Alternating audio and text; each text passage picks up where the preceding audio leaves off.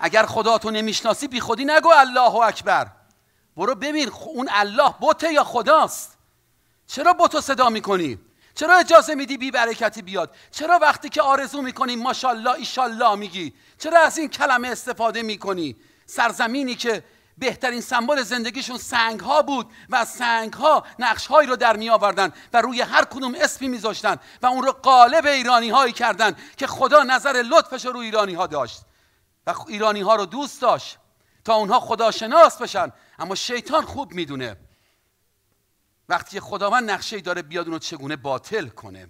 خدای خودت رو بشناس. حتی اگر میگی الله خدای منه برو تحقیق کن.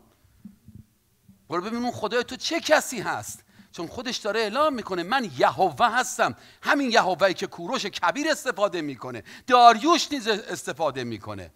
خشایارشا نیز از اون استفاده می‌کنه در کتاب مقدس.